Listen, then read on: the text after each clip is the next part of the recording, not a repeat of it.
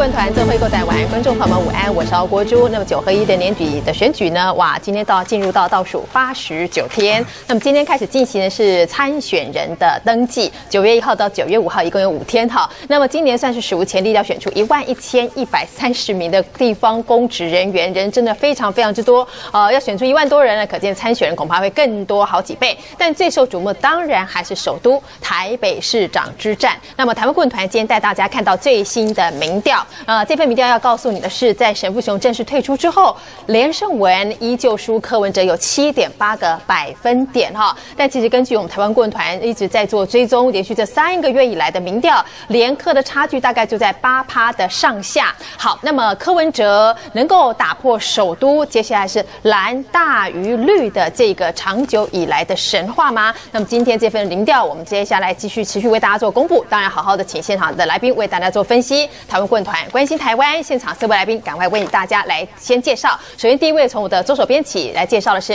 文化大学教授邱毅老师。主持人好，大家好。好，第二位我们请到是啊，这个前立法委员张硕文。大家好。好，那在我的右手边，我们来看到的是啊，第第一位请到的是前民进党籍立法委员郭正亮。大家好，好，今天现场我们请到的时事评论员是唐香龙，大家午安。好，那关于北市，也就是首都的选情，那我们今天带您看到的这则新闻，哎呀，这是蓝军自己闹内讧吗？这几天这个周末在蓝绿在吵的，就是连阵营跟柯阵营在吵，就是关于呃一兵第一殡仪馆要迁到哪里去？好，这个怎么个迁法呢？现在是蓝军自己非常有意见了。哈，呃，这个有意见是导致今天我们看到的民调数字在这两天出现这样波波动的一个主要原因吗？不得而知。我们先来看。看，对于连胜文说一兵要迁到南港山猪窟这一带，呃，南港内湖区的议员今天出来开记者会，他们都无法接受。我拜托拜托，不要把这个议题丢在南港，把我们的前功都尽弃了。千拜托万拜托，担心一兵迁到自己的家园，北市南港旧庄里里长好无奈，但身边的国民党籍市议员西利可更急了。只见这五天以来。南港区的所有的居民强烈的打到我们所有每一个议员的服务处办公室，包括你办公室都接到这样子的电话，因为我们在这几天在基层受到很大的压力，尤其我们在跑中就所有的民众南港地区都反弹很大。自家参选的连胜文提出一兵迁移山竹湖构想，选民连日炮轰，担心影响年底选情，不得不举起反对大旗。如果要丢到南港，就要跟我们南港内委的议员先沟通。那事实上丢出来以后，你也不要整天在 FB 上放话，真的不好。一连宣文竞选总干事蔡正元不负责任，连沟通都出了问题。一开始都没有跟我们沟通，到现在为止，也好像也还没有什么沟通。他有什么规划，应该先跟我们当地的，尤其党籍的议员。来做沟通，来做了解。顾口博信劝劝连胜文，在民进党籍议员强烈抗议之后，蓝营议员真的看不下去，话说的重也不是，轻也不是，就希望这政见能够从头检讨再来。提出来以后，他们其实有一些跟我们反映的意见，我们也持续在跟他们沟通，包括呃在市议员的呃部分，我们都私下有跟他做一些联系。蓝绿议员包夹上下沟通无限危机，一兵前移政策掀起波澜，山竹谷这坑反倒让连胜文自己。栽了进去。记者张凯亮、黄圆圆采访报道。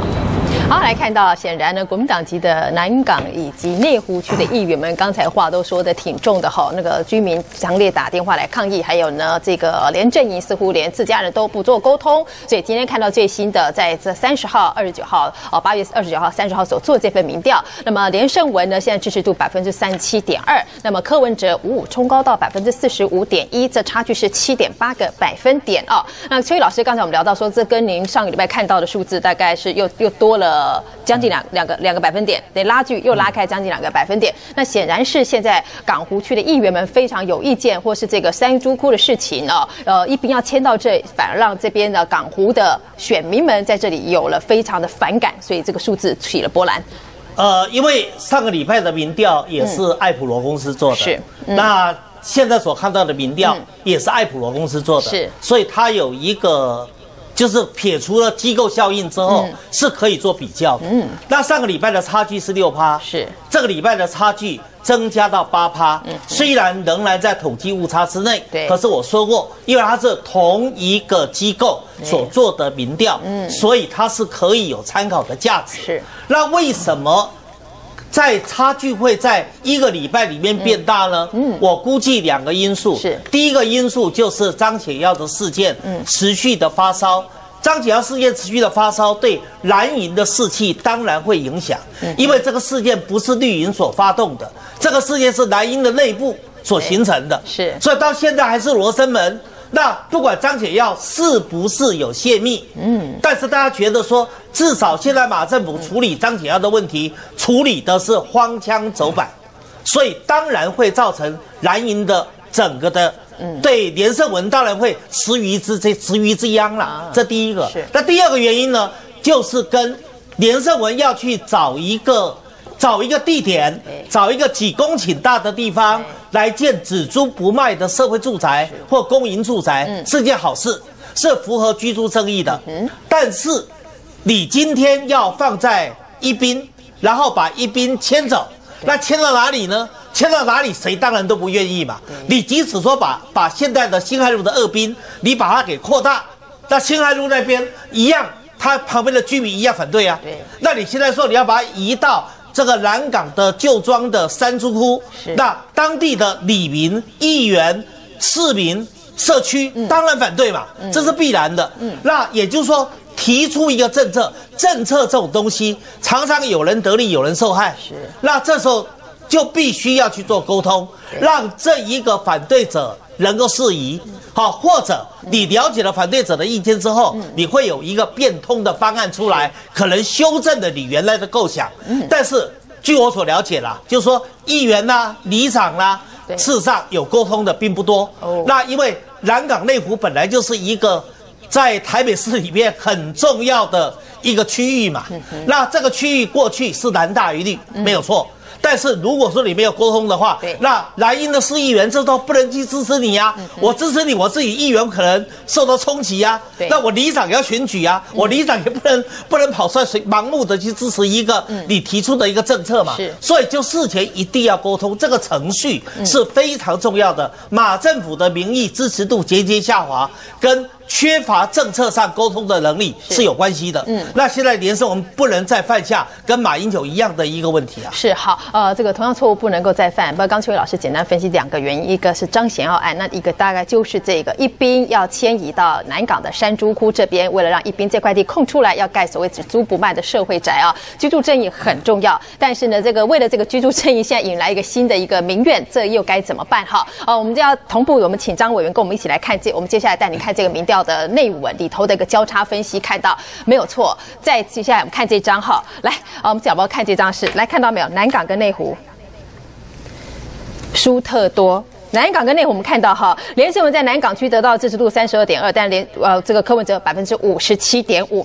内湖区呢，连胜文百分之三十四点九，但柯文哲拿到百分之四十八点四。呃，刚才呃邱毅老师有说到，这是一原本蓝大于绿的区块。张委员啊，几的三株库位逮级哈，几个一边的迁移，现在并不安呢？怎么会这样子？民调哈，我我觉得说，我上礼拜我在有台的时候看到的民调是输十三趴哦。好，不同的机构做的。那那我今天看起来是四十五比三十七，上一半我们是三十一，今天是三十七。我觉得说我们有进步。好，那对这个三呃这个签一兵的事情，其实一个好的候选人，他要去正看发现问题，正视问题，然后提出解决办法。对，这才是一个好的候选人。没错。那连胜文他觉得说，我不管是一兵二兵，已经面临二十年的问题。那大家都不愿意去碰触，是。那大家都知道说一兵势必一定要签，那要签是是是不是说好就地废除就好不要签？那我觉得如果是这样子，我们一定得分。好，也不会去得罪蓝港、内湖、文山都不会。嗯。那我们现在面对的问题是二十年，你已经是负荷量没有办法承载，所以说你必须要有一个就是。呃，影响最小的一个地方，嗯，好，那我们去做，所以说我们才会有人提提供这个建议，说啊，是不是在三珠窟哈，这个南港三珠窟这个地方，嗯，那三珠窟这个地方以前是这个呃，乐色场，没错，那当然在台北市政府，哈，他也在去年跟前年花了四亿，嗯，去把它做一个生态公园，对，大家都误以为说我们，好，去年前年才花四亿，现在又要在上面盖。报呃报告大家哈，嗯，我们不可能这样子做，嗯因为那有沼气。是我们还不能这样子做，我们是要在这个呃，就是生态公园的旁边那边，在里面一点，嗯影响更小的地方，在那边找一个比较适当、影响最小的。那同样的，好，我们也要也要提出这个问题哈，就是说我们在一滨或二滨都会面临到很多。呃，住呃住户抗议说，呃，我们的这个交通问题，对，然后每天停停锵锵这样子，让我们很不舒服。嗯嗯，如果迁到南港三三住户那个地方，是以后我们可以做一个引道，从高速公路下去，是不会影响到居民的。嗯哼，这是一个有呃有有面愿意面对哦这个呃存在的问题的一个候选人应该要有的的责任嘛。是，那相对的哦这个科批阵营，他昨天提出说啊，我们要把这个松山机场废掉，松山机场废掉，足够把一兵、二兵迁到松山机场。嗯，这是什么什么逻辑啊？松山机场要不要迁这个问题，你都在呃跟姚文智在对打的时候，你已经在吐槽他说这个鬼扯。对，好，嗯，那我们来看松山机场的问题。松山机场如果说一个首都城市，你要跟我们的机场。是没有在三十分钟之内的一个车程，那我跟你讲，嗯，松山机场它必须要保留，嗯，好，而且我们的桃园机场目前两条这个呃呃这个呃航道，对，好两两两条航道，一条在维修，嗯，一条现在哦保持在用，嗯，第三条扩建还没开始，那我们的负荷量有办法到桃园机场去吗？你还没有看清楚问题，你就要废掉松山机场，嗯，那这不是一个一个很好的候选人，候选人嘛？因为你看不到问题，然后看错问题，还用错方法要去解决台北市存在的问题，嗯，这样子的问题怎么让我们台北市民去认同呢？但我不知道电视机前的观众朋友现在听到张伟这番说明哈，说是在那个山猪库生态公园以后。后头更加的不影响，好，三所更加不影响大家生活的那一块地，看能不能在那里把一兵给迁过去。选项好，选项之一。好，那但是显然，呃，连阵营在这个消息呃铺路之前，并没有做好这样的说明，也没有做好这样的沟通，所以今天引来这样子的反弹。啊啊，张委员，啊，为下面安呢？你今嘛公下情凑，晋级那不爱供。其实我们我们啊，当然一开始是觉得说一兵要迁呢，嗯，好那。就是不要对外说这个呃要迁去哪里，因为候选人嘛，你不需要去得罪任何人。是，任何人你只要提出说你要迁去哪里，好，今天柯文哲说好，关渡平原要要盖要迁去那边，我跟你讲，看他敢不敢去，嗯，一定不敢去嘛。任何地方都是一样。那我绝对我绝对可以体谅。是，好，我们党籍的这个议员，好跟里长居民，因为。事实上，我们这个计划是伤害最小，就是说它会有引到，不会经过部落。好，那当然，对手他一定是把你扩张到说南港区，所以说民调会不会被影响？或许在那边的民民调会被影响。是。不过如果说我们把全台北市来看这个问题，我觉得我们会是会被认同的，而且大家会看看清楚，这科批阵营它是一种偷鸡。偷鸡的行为，嗯哼，好，只是希望迎合这个呃呃这一般民众的声音，然后看到南港区的民众他们在反对，然后他跳出来啊，就说说这样，可是你也要思考一下，不能乱说嘛。松山机场怎么能？拿拿一兵二兵合并放在那边呢？好，所以说呃，这个香龙这个这两天新闻就好玩哈，光了这个一兵二兵怎么个迁移哈？啊，连阵先先说要迁到山猪窟，那但是呢，柯震宇这边也说到要把那个松松基给迁走，一兵二兵全部合并在这，这也是一个蛮好玩的一个讲法哈。那当然在松山机场附近居民现在没有人出来抗议了哈。那那个是凡是蓝营人在这边先发难，呃，这个议题两方的操作是不是都都不够不够漂亮？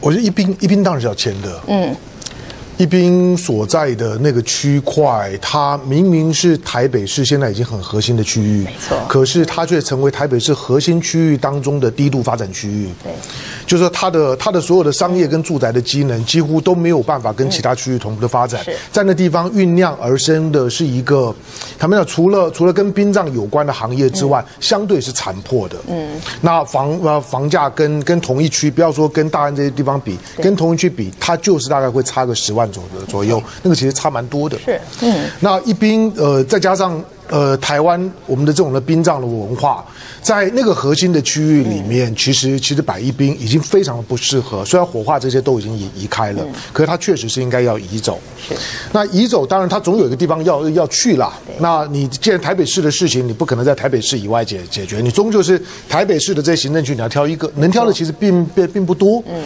那呃挑挑港湖，我我觉得讲了。那把它讲细一点，既然已经开了口，讲细一点，我我觉得是一个负责的态度。虽然一定会引起反弹，对选前你一定也要要付出一些的代价。不过这可以从两个面向来看，比如说刚刚主持人也提到了，在最新的民调里面，虽然从港湖的部分来看，港湖本来我之前看到一些民调，港湖本来连胜文的表现都还不错，没错因为大家觉得说，可能会不会是因为因为蔡正元的关系或什么原因，港湖本来就是蓝大于绿。那之前的民调连胜文表现不错，但这份民调当中看到港湖的那个支持度突然不不见了，我相信它一定有议题性的影响。没错但是你倒过来看，之前连连胜文表现，我觉得并并不怎么样的，像是中中山区，中山区上来了。对，冲山区竟然是所有的各各区里面表现最好的一个，嗯，那显示就这个议题在要迁走一兵这件事情来讲，对于当地的民众来讲，那真是大快的人心啊！你那个地方不动，不不是我排不排斥殡葬的问题，而是那个地方不动，那个地方就没有办法发发展。是。好，那你现在迁一兵是对的，我我我对迁一兵啊，我我对我对就是说连连呃连战阵营有意见的，就连胜文阵营有意见是说，你一兵迁走之后，你说要盖青年小豪宅，我觉得那个是那都是好好小的话。对，对于所有的都会区，如果你真的懂财经，如果你你你真的对于就是说未来的市政的规划，你有一些一些比较大的愿景，你只要把那个地方摆地图上面一看，你说在那地方我要盖一批年轻人可以住得起的房房子，我觉得它将来只会只会造成更多的资源的烂头，嗯，它不应该是这样子规划的，是，但是倒过来讲。我觉得每一次到选举的时候，大家都在拿拿松山机场在在在做文章，我更不以为然。嗯，虽然松山机场，你从你从台北市以及整个的北部大都会区的板块来看，松山机场也卡在一个很核心的区域，但是那个很核心的区域。呃，你不能光从台北市看这个区域多么的重要，而是从从北台湾，整个北台湾的人口占全台湾的百分之四十五，超过一千万。这个北台湾从从基隆以南、新竹以北到宜兰在内，这个这个区块，你你回头去看全世界啊，一千万人口以上的大都会区，没有备用机场的没有一个。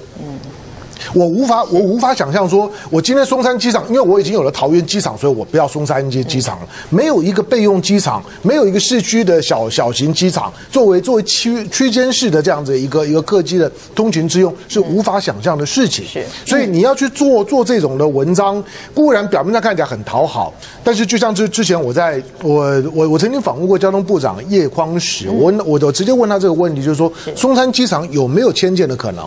我我认为他的回答还是很坦在，但他就说很很远很远的未来他不敢讲，可是他说十五年之内是没有可能性的。那你要谈十五年以后吧，你的任期最多八年而已。你要谈十五年，十五年之内没有任何的可能。你光从过去六年里面，台湾在二零一三年跟二零零八年相比，全台湾光航班增加了将近七万班一年。七万班里面有有五有有有将近五万班是在桃园，嗯，松山呢分摊了一万一万多班，绝大部分都在这个一千万人口的大都会区里面。嗯如果你把那个拿掉了之后，这增加的一万多班要放哪里？嗯，想都无法想。是好啊、所以这个一兵的问题，呃，又又现在又跨到好松基松山机场要不要来怎么样来处理迁建的问题？好啊，这里头问题头脚在里头。好，那呃郭委员哈，那一兵的问题，呃，大家或许呃绿军柯震营觉得看到那连胜文你们自家先乱，那挺好的。但是刚才张玉文有讲到，嗯，柯震云讲到的说，那我们就把那个一二兵通通给他。给放到松基这个位置好，那松山机场给他迁走。所以呢，但是你们柯呃这个柯文哲之前对于姚文智所提出这个证件，他当年是骂，当初是骂鬼扯啊。这个部分我们要怎么去信任柯批？虽然他的年他这这个所谓的支持度还是在领先群，但是领先群的过程当中，他不能随便乱讲。这个就是像硕文刚刚讲，啊我们对联的主张就比较清楚嘛。那柯比的主张也要让人家澄清一下啦。事实上，在他认为这个，比如说现在只有一条跑道，嗯，桃机现在只有一条跑道，你怎么可能签呢？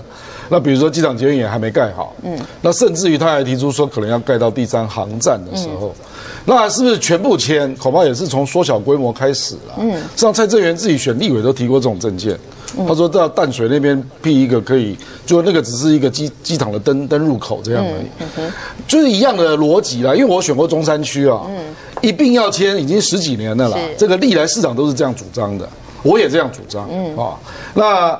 一并，可是这个就是有时间的问题。比如说，像硕文刚刚也承认，就是说，迁到山猪窟有这个外延道路的问题。嗯，那边交通真的不便，所以一定要盖一条外延道路出来啊。那一样啊。那如果二滨可以慢慢的扩建，那搞不好一并根本就直接让二滨消化掉就好了。嗯，因为如果你那个时间拉够长啊，二病的扩建计划。跟你讲的那个三猪窟的外延道路，搞不好时间差不多。嗯，我们有面对这个问题。是那个二兵哦，其实他的呃当地的租户是反对的。那边哦，在增建，其实是偷偷增建的。没有办法真的增可是那个地方绝对不可能迁呐，对，那个火葬场在那边，对，火葬场也在那边，是，所以这个哈到哪去都有这样的压力，都有声音对，都会有这样的压力，但是它又是个不能不存在的的的需求。我同意他讲一并要迁哦，然后负责任的讲出要迁到哪里，嗯，那这个是负责的啦，这我同意。选举是这样，是选举有它的理想面，也有它的现实面，嗯，当然把话说说的很清楚是对的。